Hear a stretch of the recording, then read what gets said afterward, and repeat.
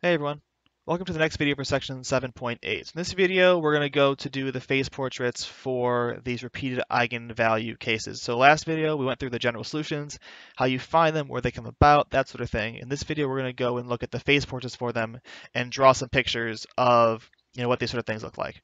So let's go ahead and jump right into it. All right, so before we get started with the phase portrait stuff, I want to draw our attention to one thing we had in the notes from last time. So Last time we were trying to solve for vectors, and we came to these two equations here for c and eta, these two random vectors that were going to show up in our general solution for the repeated eigenvalue case. So I'm going to rewrite those solutions a little bit differently and talk about what they sort of mean in terms of the vectors themselves. So the first of those equations said that 3x equals ac, and I'm going to rewrite that as ac minus 3x equals 0. And this told us that C was an eigenvector of eigenvalue 3. Now the second equation there said that A times eta minus 3 eta equaled C. Not 0, but C.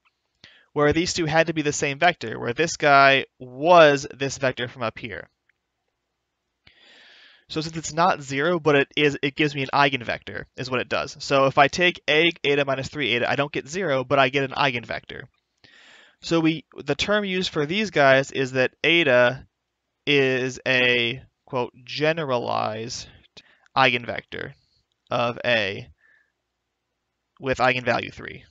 I don't need to know very much about that at all, but they'll use it in the book when they're talking about this stuff. So I want to make sure I've at least said the terminology at least once before things get way confusing. This is the sort of really, really theoretical part of theoretical linear algebra part of this class, and it's really annoying to have to you know deal with it. But we're going to avoid it, and we're just going to solve the equations directly and let that give us our vectors instead of dealing with this generalized eigenvector stuff.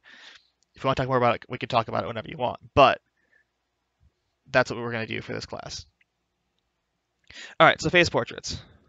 So I'm just going to use for these the two examples we did in the last video where we had the case with enough eigenvectors and the case without enough eigenvectors. So case one, which was A is the matrix 3, 0, 0, 3, which is where we had enough eigenvectors.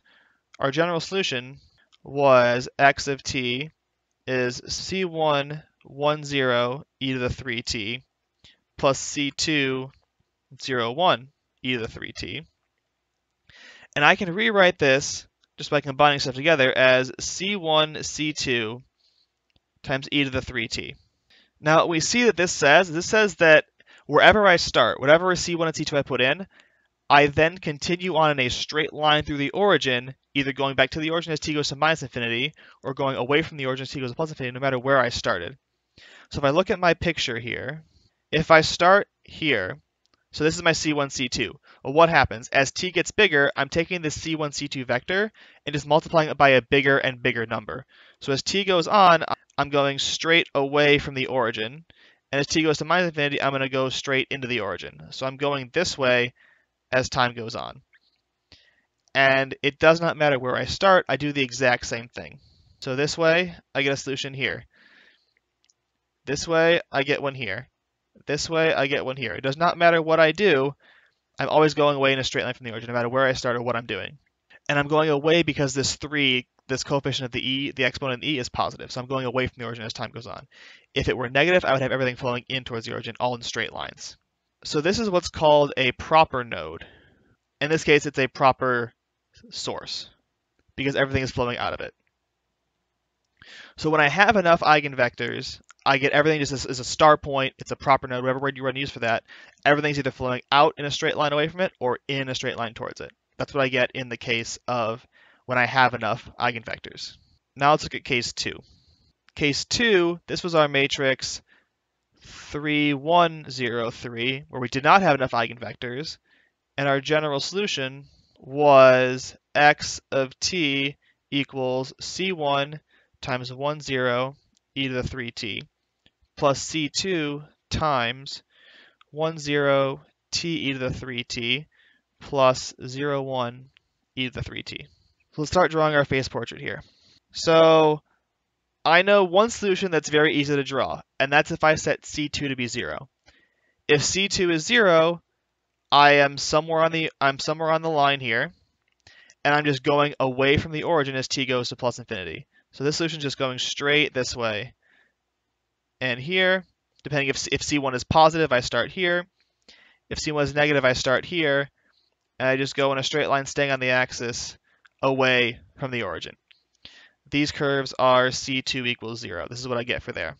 Now, to, to figure out what actually happens to the rest of them, I want to draw in what happens if C1 is 0 and C2 equals 1. So I want to draw out what this function looks like. Now, in order to graph this guy, I'm going to rewrite him in a little more suggestive way. So I'm going to write this guy, I'm going to pull out e to the 3t. So this guy is the same as e to the 3t times the vector t 1, right? If I pull out e to the 3t, this is what I get because I end up with a t0 in the first column and a 0, 1 in the second. So I put them together and I get a t1. So now let's see what happens if I plug in different times. So at t equals 0, I am at 0, 1 at t equals 1, I am at 1, 1 times e to the 3.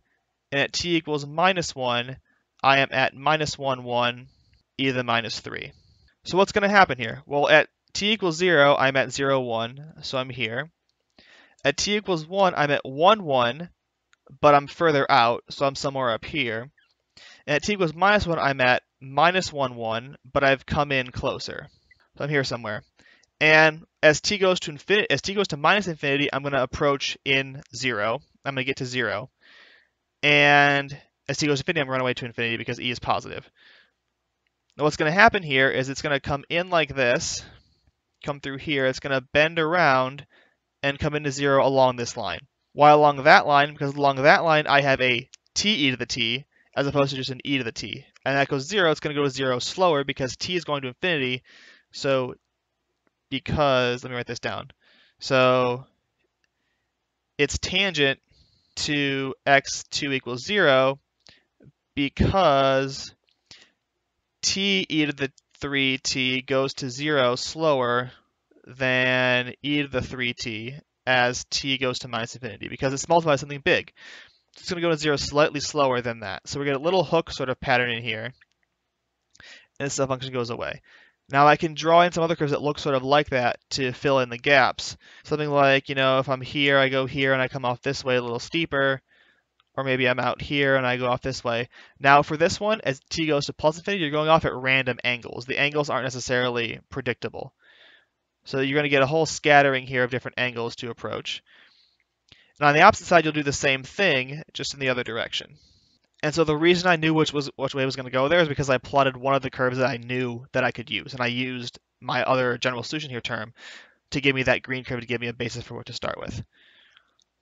So this guy is what's called an improper node. And again, just like the um, spiral points, you're doing a lot of guessing as to where things actually go. But if you can get the direction of the curves and the sort of which way it's going to bend as it comes into the center point, those are the important things you can get out of this sort of phase portrait diagram here. Now to this one here is a node, improper node source. You can have improper node sink as well if your eigenvalue is negative. You would have all these curves going into zero instead of coming out of zero. All right, that's the point here. Just want to hit the phase portraits and sort of outline how all this stuff works. Um, you have your proper nodes and improper nodes.